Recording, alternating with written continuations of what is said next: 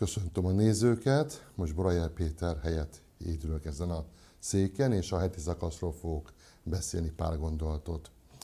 Hát Mózes 5. könyvében vagyunk éppen, már vége felé a könyvnek. Softim heti szakasz, ami azt jelenti, hogy bírák.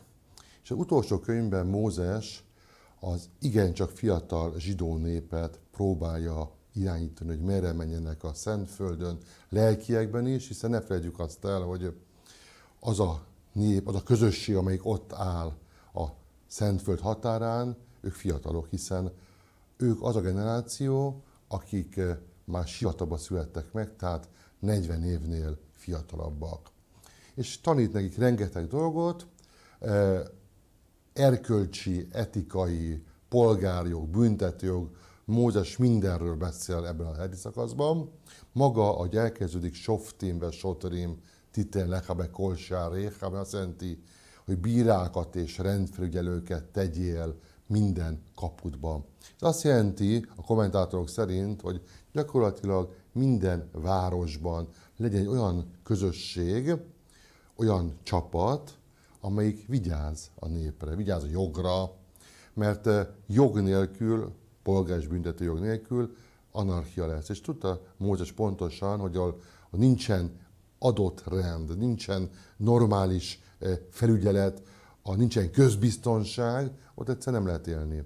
Ez egy olyan parancsolat lett, ez a bírák és rendfelügyelők, amikre azt mondták a Talmud bölcsei, hogy egyike azon hét törvénynek, amelyik nem csak a zsidókra vonatkozik a Tórából, az egész világra. Az minden kaputba, bárhol is legyél ebbe a világban, legyenek bírák és rendfelügyelők. Tehát kell a rend mindenképp, ez nagyon fontos élmény, az ember biztonságban van, a gyerekei biztonságban tudja.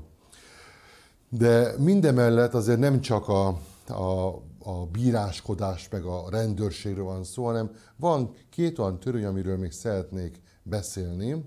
Az egyik, amelyik ö, úgy hangzik, hogy ö, hogyha akarsz magadnak királyt, akkor válsz magadnak királyt. Ez érdekes törvény a Tórának, hiszen nincs király a Tórában gyakorlatilag. Van Mózes, és, és a zsidó népnek nagyon sokáig nem volt királya, hogy az első király lett Saul, majd Dávid, majd Salamon, de a Tóra nem egy idealizált képet vezet előre, hogy igen, a zsidó nép egy tökéletes nép, demokráciában él, és, és törvények vannak, és vallási bíróság van, hanem az is lehetséges, hogy a nép, a zsidó nép néz balra, néz jobbra, és azt mondja, hogy kérem szépen, balra van király, jobbra van király, szednék egy királyt. Csak azt mondta a Tóra, hogy akar királyt a nép, lesz mindig egy válási vezető, egy proféta, akkor jelölje ki a királyt, de a király nem egy olyan teljhatalmú úr, mint sok más ókori vagy középkori kultúrában, a király egy kvázi szolgává fog válni, amelyik azt jelenti, hogy pontosan előírja a törvény azt, a tóra az, hogy hány lova lehet neki, milyen vagyona lehet neki, sőt, egy érdekes törvényt is ad a, a, a tóra, miszerint a királynál mindig legyen egy tóra tekercs. Mindig fogja a kezébe. Sőt, minden évben egyszer, amikor van egy zarándokünnep, és minden zsidó elmegy Jeruzsálembe, olvasson fel belőle egy részt, a királynak valamilyen módon elvileg műveltnek kell lennie, ismerni kell a tórát, tartania kell, vigyáznia kell. A király szimbólumá válik a zsidó népnek, de még egyszer mondom, a, a tóra nem figyel arra, hogy ha a népnek van egy igénye, ezt vagy azt szeretném, akkor nem azt mondja, hogy tilos, nem szabad. Azt mondja, hogy gyere, oldjuk meg a problémát. És van egy király, de így. Legyen e, valami előírás, de így, és erre is beszél a Tóra pontosan, így mondja ez a szakasz, hogy e, idézem, a tan szerint, amire téged tanítanak, az ítélet szerint, amelyet kimondanak neked, cselekedjél, ne térj el a szótól, amelyet neked mondanak, se jobbra, se balra. Azaz, egy, a Tórában minden szónak van jelentése, minden kis veszőnek. Azt mondja, hogy mondanak neked. Tehát a Tóra maga egy olyan szövegé válik, amelyik a leírt szöveg mellett teljesen autentikusnak kezeli a szóbeli hagyományt, a misnát, a talmudot, és amikor azt mondja a Tóra, üljél sátorba hét napig, nem azt jelenti, hogy az ember bőle sátorba és bent ül hét napig, a rabik elmondják azt, hogy mi a sátor, hogy néz ki, elmondják mi az, hogy bent ülni, az bent lakozni, életvitelszerűen, vagy nem, bent enni, vagy mit nem lehet bent csinálni. Tehát a Tóra egy olyan szöveggé vált a történelem folyamán, amiben a, amiben a rabbik, vagy a vallási vezetők értelemszerűen és aktuálisan be tudnak nyúlni. Azaz értelmezik a Tórát, a kívásokra válaszolnak. Most mondhatnék egy aktuális kérdést a Lombi Baby programtól kezdve egészen a dohányzási vagy autóvezetésig, tehát mindig olyan dolgokról is rabiknak kell beszélni, amíg a Tórában magában nincs benne, de a szakemberek ezt kitanulják, kikövetkeztetik, és gyakorlatilag a rabik feladata ebben elmúlt 3000 esztendőben az volt, hogy a Tórát élhetővé tegyék. Hogy azt mondhassák, hogy amit én mondok neked, azt meg tudja tartani. Hát a rabbi olyat mond, amit nem lehet megtartani, a zsidóság el fog tűnni. Rabbiknak úgy kell a Tórát interpretálni, magyarázni, tanítani, hogy bárki, aki hallgatja, azt mondja, igen, ez enyém, ez fontos nekem, ez hozzám szól. És lett legyen az akár egy szelidebb törvény, akár egy szigorúbb törvény, megtalálja a rabbi a hangot mindenkivel. És nem csak a rabbi, a kommentátorok, a közösségek, és amikor arról beszélünk, hogy softim, besotrim, tehát, tehát bírák és, és felügyelők, ez igazándiból nem azt jelenti a zsidóságban, hogy valami nagyon erőszakos dolgokról van szó. Olyan emberekről van szó, akik abban segítik a népet, hogy tudják a hagyományt tartani. És még egyszer, ugye ott áll a zsidó nép a Szentföld határán, ott áll sok-sok ember, mindjárt belépnek pár nap múlva az ígéret földjére, és Mózes a maga szerítségével magyarázat tanítja a népet, hogy valóban ez a törvény számotokra nem valami nagyon messzi dolog, ami a tengeren túl van, vagy a hegyen túl van, hanem azt mondja, hogy ott van nálatok, a szívetekben, a lelketekben, a tetteitekben, és ebben bizonyos önuralommal legyetek önmagatoknak a felügyelői, amelyik mondja, tanítja nektek, hogy igen, erre induljak el, vagy arra induljak el, és azt mondja, jó Isten, a zsidóság mit mond nekem, mit tanít nekem, és gyakorlatilag ez a túlélés könyve. És amikor a királyról beszélünk, hogy a, a tóra legyen mindig nála, pont erről szól az ember, önmaga királya is, önmagunk ura vagyunk, saját döntésünk van, de a tórát azt ne felejtjük el. Én kívánok mindenkinek Sabat Salomot, Gücsábesz, és azt, hogy ez a heti, ezen a héten is a heti azt olvassuk el, gondolkozunk el rajta, hogy számomra mit mesél, mit mond, és vajon ez a bizonyos tóra tekercs, ami a királyoknál ott volt, ott van nálam is. Ha nincs ott nálam, akkor keressem meg, és én is olvaskassam reggel és este, és lássam azt, hogy ez egy milyen csodás és milyen szép dolog. Sabat Shalom.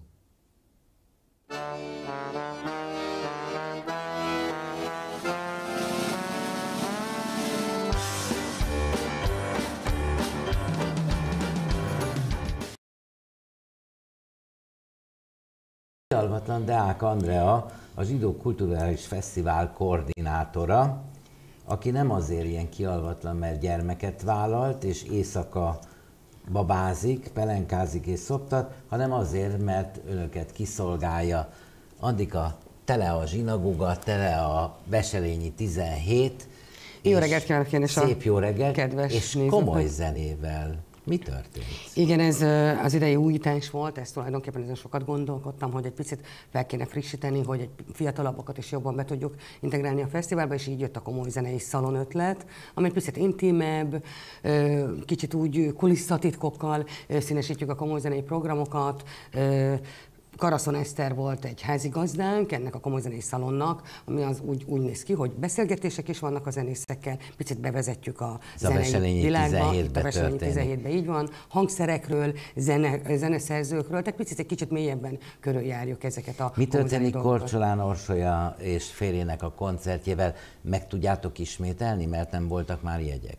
Hát igen, Orsolya nagyon nagy sikerű koncertet adott, hála a jó teremtőnek, úgyhogy nagyon szép közönségünk volt, fantasztikus volt a program, és a közönség nagyon szerette Orsolyát, mint minden évben. A Hegedűs Gyula utcai zsinagóga broadway vált, mert van ott könnyebb műfaj, tehát a, a, a musical és a könnyű zene, meg a komolyabb zene is ott van. Igen, a Hegedűs Gyula utcai zsinagógában úgy próbáltuk összeállítani a programot, hogy természetesen nagyon színes legyen, picit az intimebb szférát próbáljuk megtalálni, úgyhogy így lesz ott majd még lesz egy Dixieland, klezmer, jazz világ majd vasárnap, lesz egy Cerkovic Béla emlékes, tehát arra már sajnos nincsenek jegyek, de ott volt Szétes a Mókus koncertje, Dina koncertje, kicsit egy kicsit egy szefárdabb világot idézett meg nekünk, úgyhogy ott is nagyon szép programjaink voltak, és még lesznek is.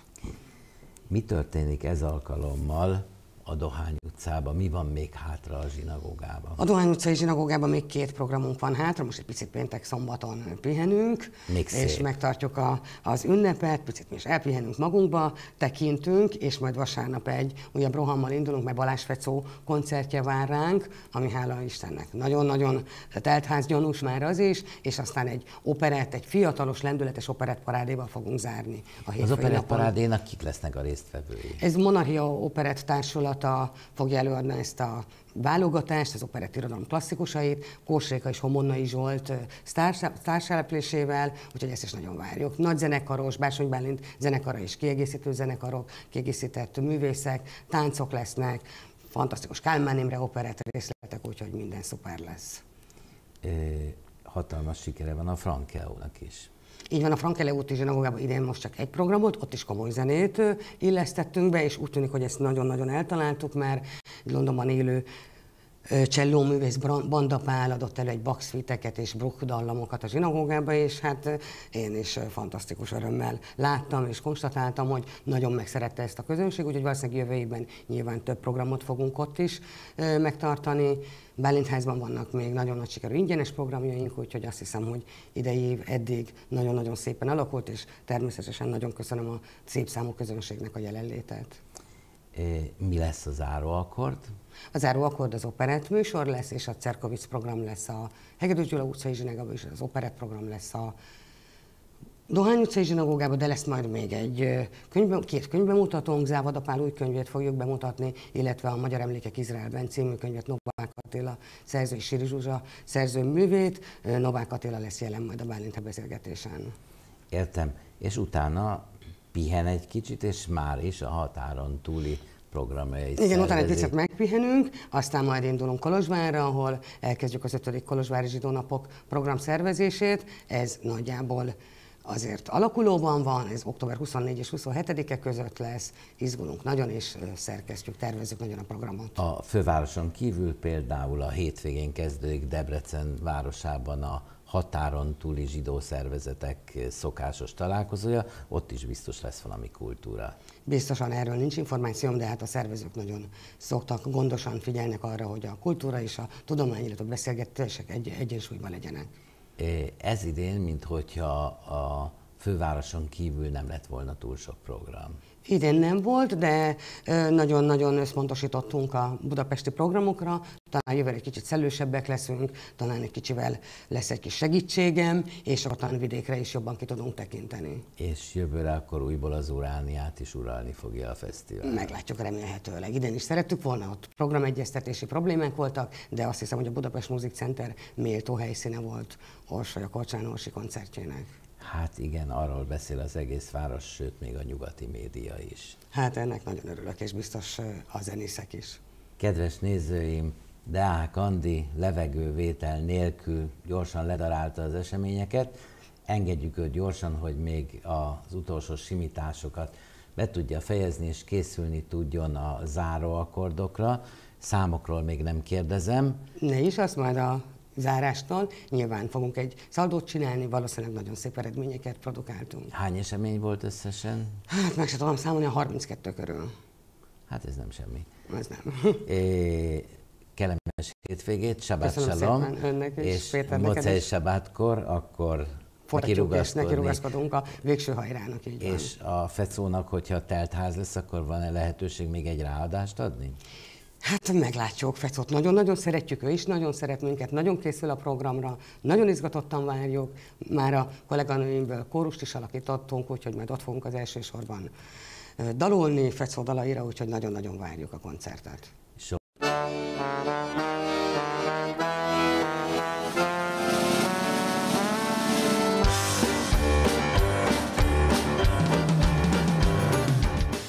András a Mazsihisz elnöke, szép jó reggelt kívánok, köszönöm, hogy elfogadta Jó meghívásunkat. reggelt kívánok!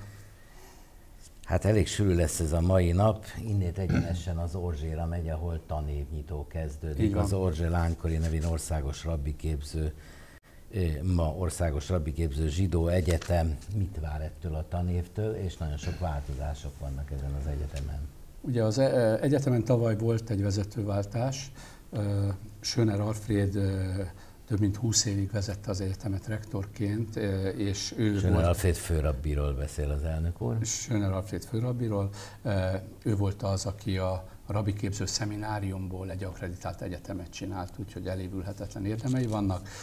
Ő elérte azt a korhatárt, ami után a törvények szerint már nem tud rektor lenni, és tavaly választottunk egy új rektort, Vajda Károlyt. Harmadik nekifutásból. Igen, ez egy nagyon nehéz döntés volt, hiszen ő az első olyan vezetője az egyetemnek, aki nem rabi végzettségű, hanem bölcsés, bölcsész Az végzettségű. egyetem fennállása óta. Így van, így van, így van. És elindult egy csomó változás az egyetemen belül, amelyik mind a, abba az irányba mutat, hogy az egyetem egy tudásközponttá fejlődjön, és az egyetemen olyan magas színvonalú oktatás legyen, amelyik hívó szó azoknak a kiemelten értelmes és innovatív fiataloknak. Hányan kezdik meg idén a tanulmányaikat? Az egy, pontos számot nem tudok, de az egyetemnek általában a létszáma 170 és 200 fő között van, tehát körülbelül ugyanennyien fogják megkezdeni. Ami jó hír, hogy a rabi képző fakultáson ott nagyon sok vagy több nagyon tehetséges eh, eh, tan, tanítványunk is van, úgyhogy reménykedünk az utánpótlásra. Valamikor ez az intézmény a felszabadulás után Sejber Sándor vezetésével visszatért a régi híréhez, és mint egy gyémánt úgy csillogott. Kelet-Közép-Európának ez volt az egyetlen rabbi képző, vagy a szocialista tábornak. Uh-huh. És bárhol a világon valaki azt mondta, hogy a József körút 27-ben tanult, az már egy belépő volt a, a, a kutató munkába. Aztán ez egy kicsit halványodott, most arra törekszenek, hogy ez újból elérje azt a szintet, ami régen volt. Ez viszont nagyon sok pénzbe kerül. Honnét és miből támogatják az egyetemet? Ugye az egyetemnek megvan a normatív támogatása, ez az alapja az egyetem működésének. A Mazsisz minden évben folyamatosan a járadékból, tehát a, a jogtanul elvett közösségi ingatlanok utáni járadékból támogatja az egyetemet, és az egyet- egyetem próbál saját forrásokat is szerezni pályázatok útján. Fontosnak tartom azért elmondani, hogy hogy, hogy nehéz összehasonlítani a korszakokat. Tehát a háború előtti időszakot, akár a Sejberi korszakkal, akár ö, Schöner Alfred ö, főrabbi úrnak a több mint 20 éves korszakával nagyon nehéz összehasonlítani. Nagyon változik a világ, és egy egészen más környezetbe kell ma azt a munkát végezni, amit korábban végeztek az egyetemben. Van esély arra, hogy az egyetemnek újból akkreditáltatni kell magát, az akkreditációk esztendőjét érjük, és maga az akkreditációs bizottság is új kritériumokon dolgozik. Vajon sikerülni fog-e meg, megugrani ezt a lécet? Nem csak hivatalból mondom, de biztos vagyok benne, hogy meg fogják ugrani ezt a lécet. Rengeteget dolgoznak rajta. A doktoriskola akkreditációja az már sinem van, tehát ott úgy néz ki, hogy minden rendben van, és utána következik majd az egész egyetem akkreditációra, amire hát minimum egy éves felkészülési időszak van. Nagyon sokat dolgozik ilyenkor mindenki a rektor vezetésében. Amióta az Orzsénak doktori iskolája van, ez az első alkalom, hogy a doktori iskola vezetője az egy szakember ugyan, de nem zsidó. Mit tud erről mondani? És nem férfi, hanem nő. Igen, azt tudom mondani, amit az elején a bevezetőben mondtam, egy tudásközpontot akar építeni az egyetem, és az elsődleges szempont a tudás. A doktoriskolának ma van egy olyan vezetője, aki már, most nem tudom pontosan, de 5-10 éve tanít a, az Orzsén, egy vitathatatlanul nagy tudású asszonyról van szó, nőről van szó, aki egyébként evangélikus vallású, de a judaizmusba és minden olyan kérdésbe, ami a doktoriskolához kell, rendkívül járatos, és ebben dolgozik most már évek óta, úgyhogy szakembert választottak a doktoriskola élére az egyetemen belül. Hol tart a Mazsihisz az egyéb oktatási intézményeivel és az állammal való kapcsolatával? A, ö, ugye a Mazsihisznek tényleg teljes skálája van, tehát van bölcsőde óvoda, iskola, tehát a szakgimnázium, szak, szakgimnázium, most már az is van, és az egyetem. A szakgimnáziumunk nagyon nehezen nyert elhelyezést, mert nem tudtak segítséget adni nekünk a kormány részéről, úgyhogy saját, igen, saját Le is tettek már erről? Nem, ez én úgy gondolom, hogy, hogy, hogy ez most egy pár évre megoldás lesz, de hosszabb távon azért kellene egy, egy méltó hely a szakgimnáziumnak. Ez a megoldás ma jó, tehát hogy elférnek a szakgimnáziumba, 600 diákja van a szakgimnáziumunknak, az iskolánkban 450 gyerek tanul, és ott is túljelentkezés van. Az óvodánkba csökkent a gyerek létszám, most új vezetővel indul az óvoda ebben az évben. Ez vezető függő, hogy nő vagy csökken a létszám? Nem vezető függő, hanem, hanem úgy gondolom, hogy, hogy, hogy másképp kell az óvodának a munkáját hát részben csinálni, részben kommunikálni a közösség felé. Úgyhogy vonzóvá kell tenni az óvodánkat. Nagyon nagy a konkurencia, hiszen rengeteg állami önkormányzati óvoda nyílt, például a 13. kerületbe, ahol egyébként sok zsidó család lakik. A minap nyílt meg, pontosabban szeptember 1-én a Zsidó Nyári Fesztivál, immárom 25. alkalommal azt hiszem, ebből 18-at dr. Vadasvéda szervezet, és azóta ez az önök, tehát magának a Mazsihisznek házon belüli szervezésében indult.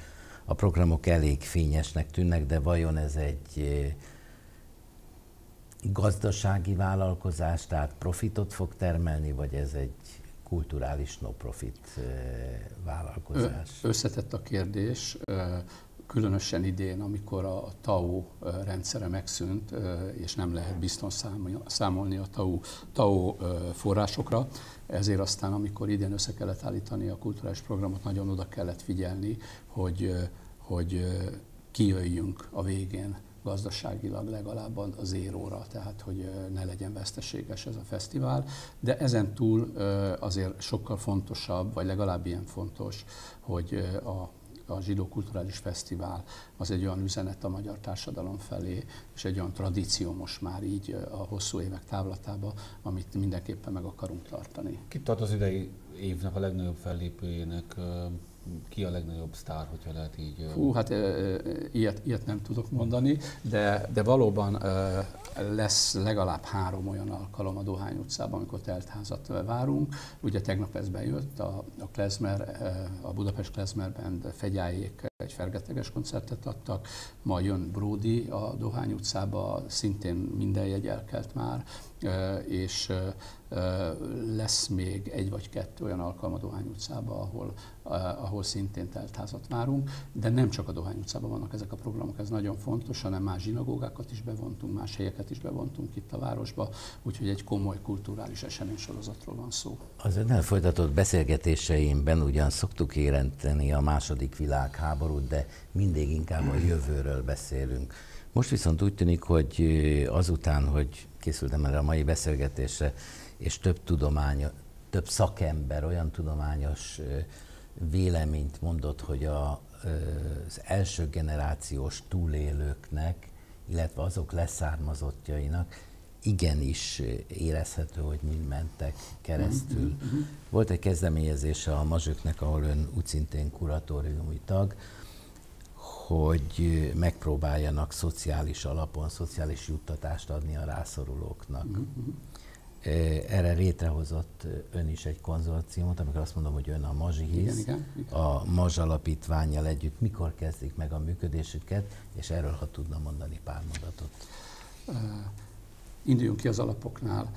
A tudósok, a pszichológusok, a szociológusok nagyon komoly irodalmat raktak már össze a holokauszt második generáció, tehát holokauszt túlélt, gyerm, túlélők gyermekeiről van szó, traumáiról, hordozott traumáiról, krízis helyzeteiről, stb. Tehát ez egy létező dolog a tudomány szerint. És most, hogy a mazsök, azaz egy állami közalapítvány 100 millió forintot arra szán, hogy a holokauszt túlélők második generációjának a szociális helyzetét segítse. Először van az, hogy kvázi egy állam elismeri azt, hogy létezik ez a probléma. Tehát létezik ez a holokauszt második generációnak a traumája. Természetesen nem mindenkibe és nem mindenkire vonatkozik. Elindítottunk egy olyan programot, amelyiknél a rászorultaknak, ez borzasztó fontos, és csak a rászorultaknak uh, tudunk adni, és nem pénzbeli segítséget. Tehát nem egy újabb kártérítés, szó nincs róla, szó nincs róla, rászorultaknak és, és szolgáltatásokat tudunk nyújtani. Ezt a pénzt a mazsők a saját... A saját tőkéjéből biztosította. Elképzelhető, hogy a kormány ezt kiegészíti? Én úgy gondolom, hogy ha ez a program jól meg fog valósulni, akkor a kormány erre oda fog figyelni, és akkor lesz ennek folytatása mert szükség van rá, és hogy mikor indul, gyakorlatilag a, a munkálatok már elindultak, az adatfelvételek pedig most szeptember közepén kezdődnek. Akkor de van-e valamilyen becslésük, hogy körülbelül hány embert érint? Hát az úgy mondjuk egy Becs, igen, jó, jó a mondat, hogy becslés valóban, becslés. Mert, mert ember nem tudja pontosan meghatározni. Ugye Kovács Andrásnak van egy remek szociológiai felmérése a Magyarország zsidóságról, abból mi azt hámoztuk ki, hogy körülbelül olyan 40 ezer második generációs holokauszt túlélő lehet, tehát második generáció, de ezek nem rászorultak, szó nincs arról, hogy mert akkor... Mert ebben benne van ugye a Ratkó Bum is. Ebben benne van az is, tehát ez egy nagyon nagy létszám, de ha ennek a 5%-áról beszélünk, az is, uh, igen, az is 2000 ember, és azért 2000 ember szociális ellátását segíteni és megszervezni, az nem egy egyszerű feladat. Ugyanakkor önök föntartanak egy olyan otthont, ahol lelki és egyéb sérültek, tehát a, a túlélőknek a gyermekeikről így van, gondoskodnak. Így van. Így van. Vannak olyan ápoltjaink, barátaink, akik hát nagyon komoly komoly egészségügyi zavarokkal küzdenek, és ezeknél a családoknál ugye a holokauszt túlélőknek a legnagyobb gondjuk az, hogy kire bízzák majd a gyereküket, akik önállóan nagyon nehezen tudnak megélni és létezni a társadalomba. Erre figyeltünk mi oda, és ezeket a gyerekeket, akik felnőttek aztán már, és sokuknak már a, a szüleik elmentek közülünk, ezeket mi vigyázzuk. És van elég helyük erre az újpesti otthonban? Egyelőre van helyünk, de én úgy gondolom, hogy lenne rá igény, hogy ezt bővítsük. Pillanatnyilag erre konkrét tervet.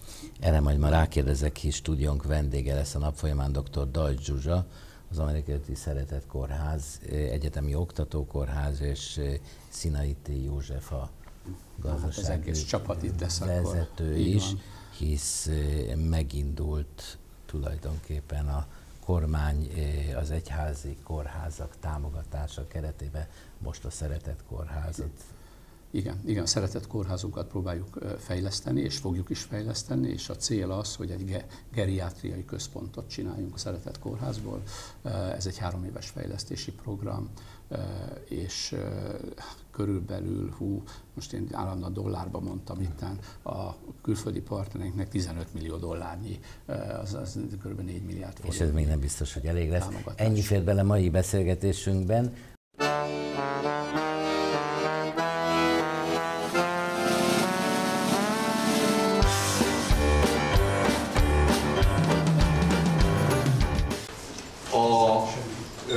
László kedves és sok évtizedes kollégám és kedves barátom eh, segítségével egészen bravúros dolgokat szeretnék mutatni, úgyhogy aki eljött, eh, az eh, azt hiszem egy pillanat türelmet kérek, utána nagyon megköszönöm, ha segít, csak néhány mondatot mondjuk.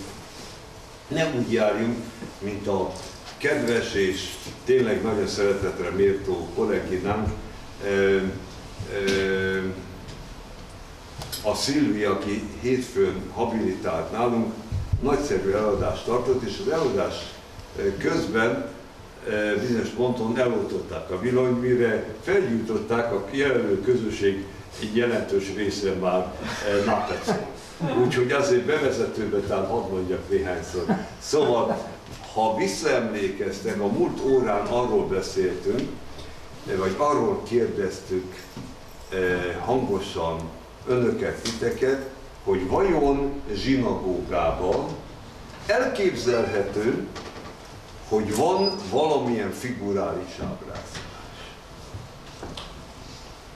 A második kérdés kicsit e, árnyalva, hogy elképzelhető, hogy a zsinagóg, általában a zsinagógában bármilyen jellegű ábrázolás A harmadik kérdés az volt, hogy a zsinagóga közvetlen környezetében, tehát mondjuk a bejárat előtt, elképzelhető.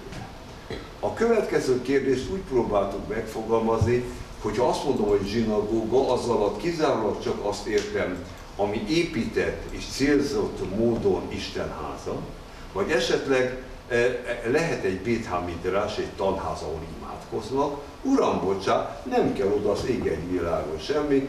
A Münzlaci pár nap, pont egy héttel ezelőtt azt említette meg, hogy valamelyik javíts ki, hogyha rosszul emlékszem, valamelyik kirándulásunkon jöttünk hazafelé este, Igen. és megálltunk az egyik benzinkútnál, és ahol az emberek töltötték a benzint, a mögött találtunk egy csendes helyet, odaálltunk, voltunk talán 16-17-en, és ott imádkoztunk, mindhet és májra, és notabel az ég egy világon senkinek nem tűnt fel, az ég egy világon senki nem tett semmilyen kritikai vagy bántó megjegyzést, azaz látták, hogy ott vannak zsidó vallás emberek és csendben magukhoz No de mi van akkor, ha ott éppen nem vettük észre, de mondjuk két méterre van egy szobor?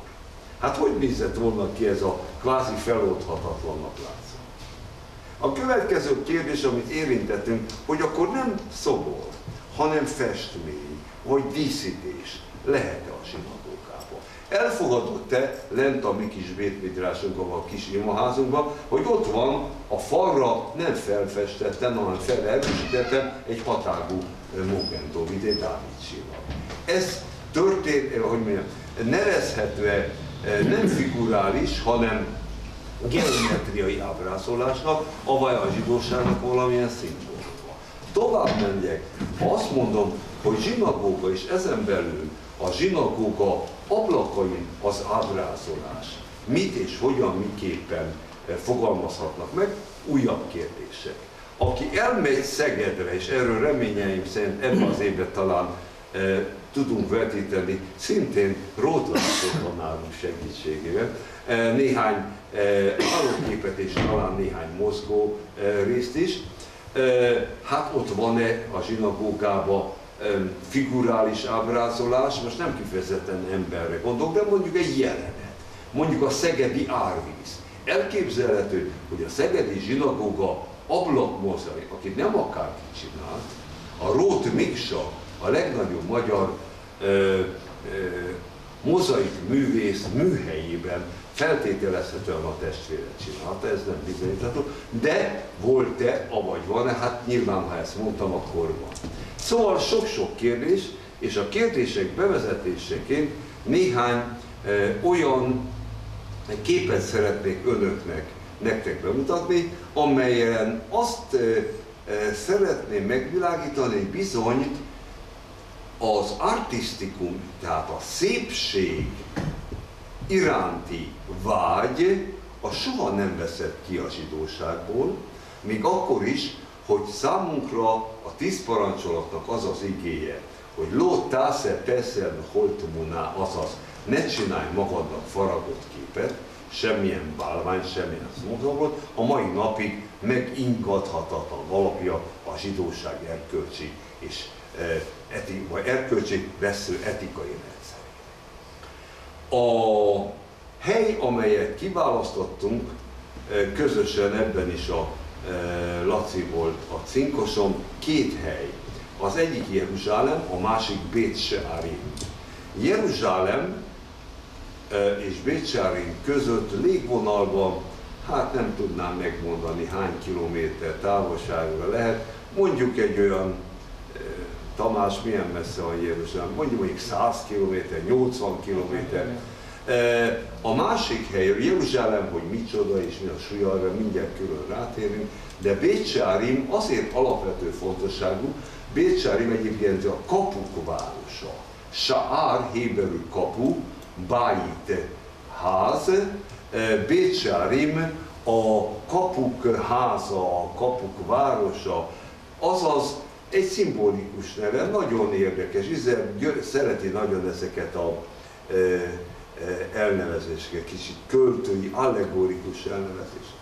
Hogy Jeruzsálem, amelyről most szó lesz, és ezen belül a Muzeon Israel, magyarul az Izrael Múzeum mit tartalmaz, és milyen helyeket, és milyen figurális ábrázolási emlékeknek ad helyet, erről szeretnék ebben a szűk 20-30 percben még bemutatni, és néhány képpel illusztrálni ezt.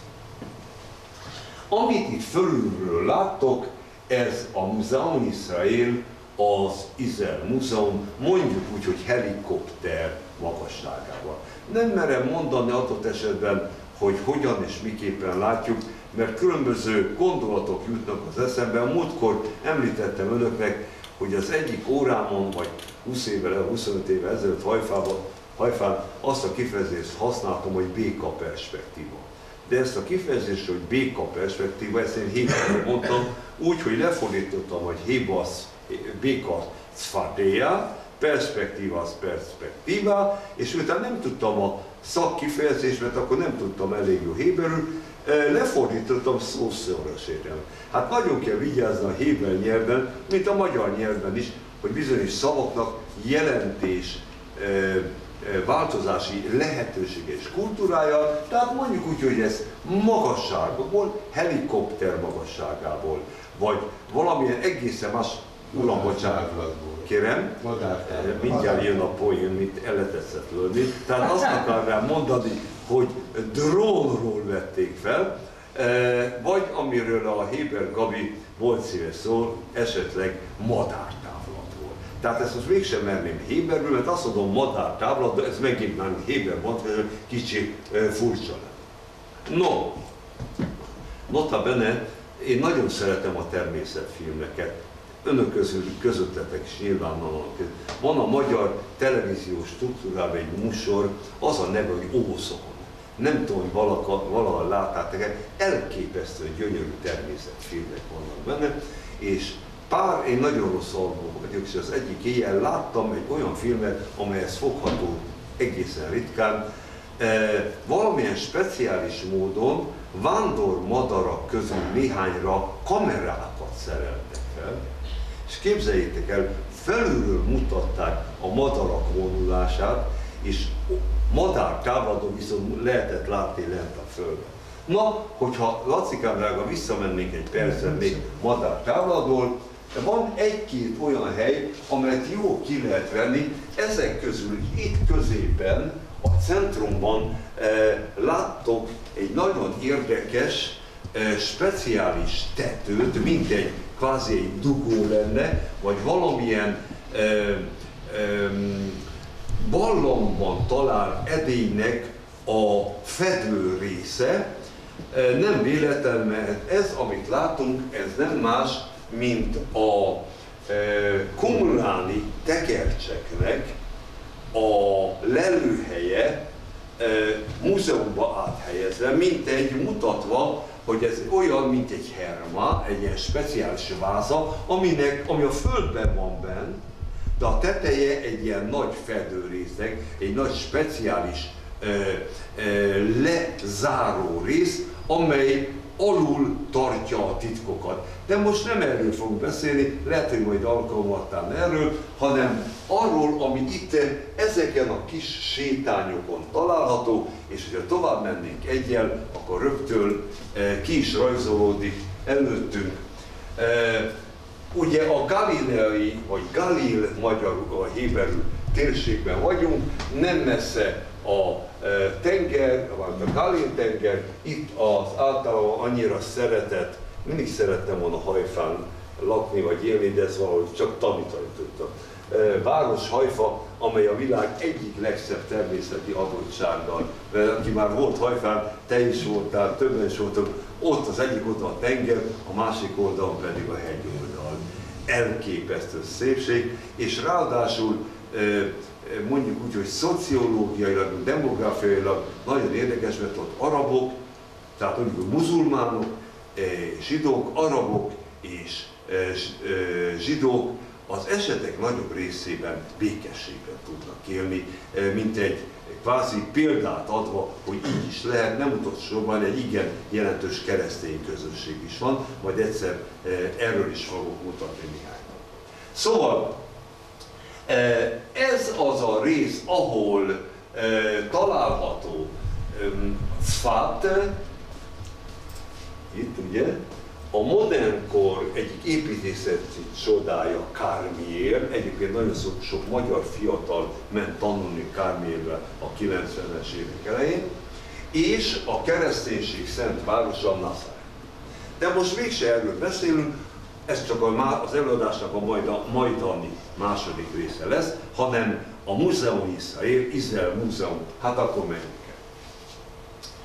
A e, Roth kollega, e, menj egy picit vissza, Lacikám, légy színes, egy, egy, egy ilyen kör alakraj formába elhelyezett néhány nagyon érdekes épületet, mondjuk úgy, hogy zsinagógát, vagy zsinagógához közel álló valamilyen jellegű díszt, mondjuk úgy, egy zsinagóga bejáratának a díszét.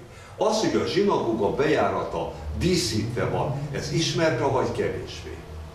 Higgyétek el, nekem egyáltalán nem ismeretlen. Pár évvel ezelőtt Münchenben, Németországban felállították a e, modernkor egyik, felépítették a modernkor egyik legszebb zsinagógáját, szupermodern zsinagóga, amelynek a bejárati kapuzatát egyébként egy magyar testvérpár, ötvös testvérpár készítette, majdnem három méter, vagy két és fél magalas maga a bejárat, és ott a tíz parancsolat sorszámai vannak e, művészi ihletettséggel megfogalmazva. Tehát ott is megjelenik valamilyen formában a zsinagóga közvetlen környezetében, vagy annak e, e, integráns részeként az artisztikus. Hogyha ezeket a kis részeket most nem akarok belemenni, menjünk egyet, rögtön kezdjük az elsővel. Egy e, olyan e, e, zsinagóga bejárati részt, tehát egy portálnak, egy bejárati portálnak Héber úgy hívják ezt a felső részt, hogy Maskov. Eh, egyébként a Maskovot használja a futballnyelv is, kapufát, a felső kapufát a futballba így hívják, ahogy egyébként a kapuzatnak a felső részét. Tehát itt láthatunk középen egy menórát, látjátok? E, és hogyha tovább megyünk, tudjuk ezt egy kicsit élesíteni? Megpróbáljuk ezt a bizonyos bazaltiszt. Itt középen, itt van a menorá, vagy menóra, és két oldalt, jobb oldalon és bal oldalon textuális díszítés van. Tehát nem geometriai, vagy nem figurális, hanem a Szentírásból vett citátum, amely úgy hangzik, hogy Baruch Ata bevoecha, u baruch ata becétecha. Segítek, Eviuszim, mi ez? Baruch ata bevoecha. Légy áldott, hogyha bejössz. U baruch ata becétecha. És hogyha elmondtad az imádságodat, akkor és elhagyod a zsinagógát, kísérjen téged a jó Isten áldása. Tehát zsinagóga az az imaház tanház, közösségi ház, amelyen valamilyen formában a díszítés jelesül a menóra, amely a zsidó kultúrtörténet legősibb, legrégebb díszítési formája mellett megjelenik a textus. Megjelenik a szöveg, amely persze nem olyan formában és nem olyan illusztrációval, illusztrációként, mint ma, ahogy a skriptorok tudjuk, hogy írtak, írnak, és adott esetben formálnak, gondoljatok bele abba a speciális alakzatba, amiről egyszer már beszéltem, az egyiknek az a neve, hogy makrografia, nagy bekütükkel való írás, és van egy másik, aminek az a neve, hogy mikrografia, vagy minusculus, ilyen pici kis, szinte láthatatlan nagyságrendű betűkkel illusztrálnak formákat.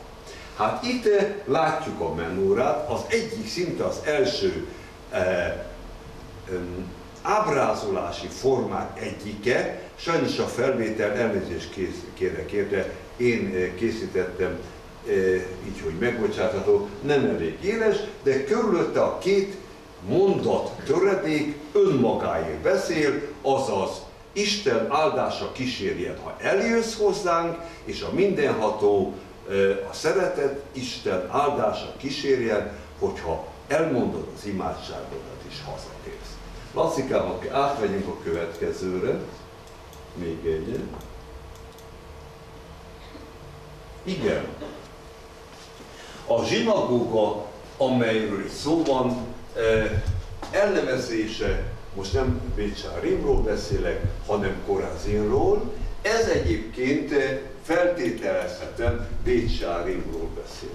Ez az úgynevezett híres, és már azt kell, hogy mondjam, világhírre szertett kagyló áldozat, kagyló motivum, amely egy picit a tenger közelségének a áldott állapotát is jelzi.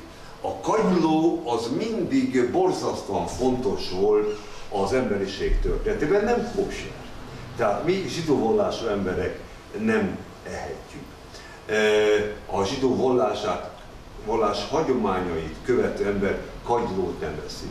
Egyszer megkérdezte, hogy vajon tudom-e, hogy milyen a kagylónak az íze? Nem tudom, mert soha nem kóstoltam.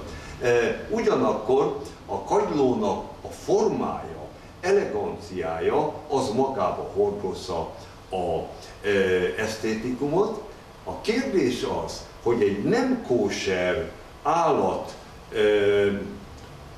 külső megjelenítési formája, a kagylónak a külső pereme, a háta, a háza, az, mint illusztrációs elem bekerülhet oda, vagy sem. Nagy költői kérdés, mindjárt fogunk erre megpróbálni választani. Menjünk egyet tovább, Laci?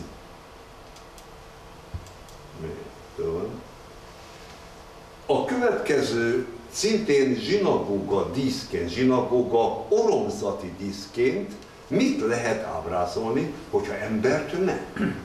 Ezzel szemben egy valamit ez már feltételezhetően nem a templom fennállásának az idején, hanem a templom musztulása utáni időben készült, és e, egy olyan vágyat fogalmazott meg, amely a zsidóságban a mai napig megvan.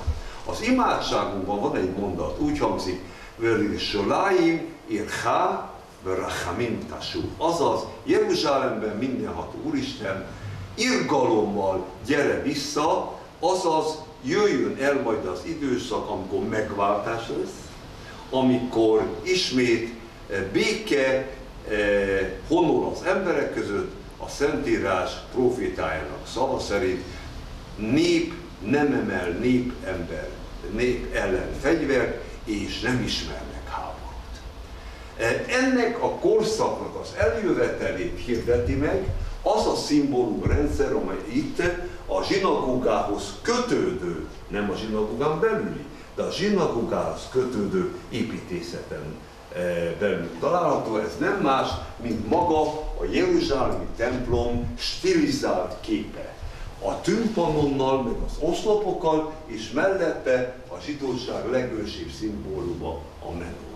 A mai napig, ha megnézitek a archaikus eh, zsidó emlékeket, a legtöbb helyen, ahol menóra ábrázolás található, ott valamilyen módon követik az ősi hagyományt, hiszen a menóra ebben az időszakban, tehát Smot könyvében, amiben benne van, vagyunk, ennek a klasszikus irodalmi terméke, amelyet a minden idők, minden idők legnagyobb eh, szellemiségeinek egyike, Becalel, akinek a nevét onnan ismerjük, hogy a eh, modern korban ugye a világ egy legtekintélyesebb művészeti iskoláját így hívják, Úrinak a fia, Hurnak az unokája elkészíti a világ első ilyen jellegű égite, világító testét, a menorát.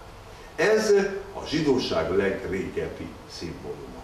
A kérdés, amelyről beszélünk, és ez lesz a mai utolsó kérdés, amit felteszek, hogy vajon igaz az a mondás, hogy a menóra a legrégebbi zsidó szimbólum, de a legfrissebb, vagy a leginkább ismert szimbólum az nem a menóra, hanem a Dávid csillag. Tehát egészen modern, 18.-19. Hát ez az állítás igaz egyik oldalon, de szeretnék befejezésül egy-két olyan képet mutatni, ami némileg ennek ellentmond, aztán mindjárt elmondom, hogy miért. Ha tovább megyünk, eh, Lacikám, néhány mozaikat fogok látni, ez Merol zsinagógájának a formája, szövege, alakjai, tovább. És itt rögtön padló mozaikokat látunk a harmadik, negyedik, ötödik századi Szentföldről. Mozaikábrázolás. A világ egyik legszebb és legnehezebb dolga. Kis apró kavicsokból eh, kialakítani geometriai formákat. Tehát az a kérdés, hogy vajon, menjünk szép régen, az ókorban a har második, harmadik században a Szentföldön volt-e Dávid csillag ábrázolás, az Izrael Múzeumban elhelyezett mozaik padló a legékesebb viszony. Két háromszög egymás mellé helyezve, egymásra helyezve, az egyik a talpára állított háromszög, a másik a csúcsára állított háromszög. A, mind a kettő egyébként távol-keleti szimbólum, az egyik a fényt szimbolizálta, a másik a e, világosságot, illetve a kettőnek az egymásra helyezése az, hogy Jocér Or Voréhósef. A mindenható Isten teremtette a fényt és a sötétséget. Tehát a kettőt egyesítjük. Így aztán a talpára állított háromszög és a csúcsára állított háromszögnek a szumbiózisából keletkezik az ókor, és ezek szerint a modern kor zsidóságának egyik legtekintésebb szimbóluma a Dávid csillag. Innen fogjuk folytatni. E, mindenkit szeretettel várok jövő héten a Zainadári hallgatsorára, ha jól emlékszem, a csütörtökön van, és akkor, ha im Jircásém, ha Isten segít, akkor mához két hétre innen folytatjuk. Köszönöm, hogy